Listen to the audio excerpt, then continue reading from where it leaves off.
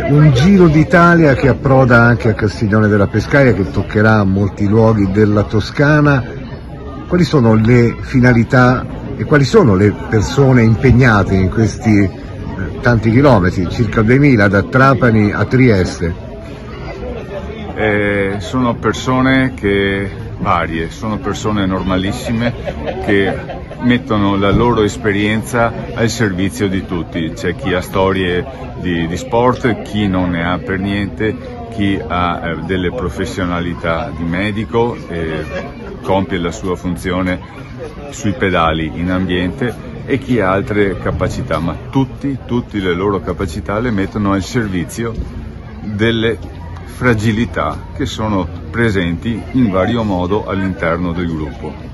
In tandem per la legalità è il titolo del, sì. dell'evento. Siete arrivati in Toscana, arriverete a Trieste, lei parlando alle persone presenti oggi ha rimarcato la tenacia di questo gruppo sì. nel voler arrivare eh, come dire, a raggiungere un obiettivo che a volte noi pensiamo per professionisti in realtà mi pare che voi state riuscendo bene in questa... Molto bene, molto bene e sta vincendo la coralità del gruppo al di là delle fragilità perché mettiamo in campo tutte le nostre parti sane che sono complementari e questo viene amplificato dall'effetto del tandem, dello stare assieme, della fiducia, del, della sincronia, della sintonia che bisogna avere ogni pedalata. Oggi ospitate insieme ad Unicop Tirreno questo giro d'Italia un po' insolito rispetto a quelli che conosciamo ma non meno ricco di emozioni probabilmente. Eh, certo, sì. Eh, intanto il fatto già della scelta di Castiglione della Pescaia, no? perché loro comunque sono partiti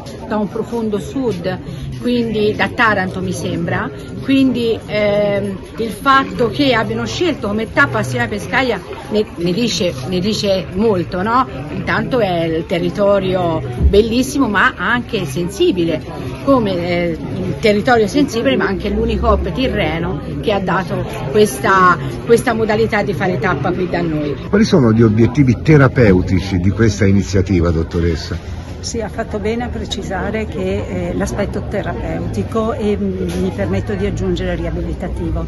Terapia senza riabilitazione nel campo delle fragilità eh, risulta praticamente eh, inutile.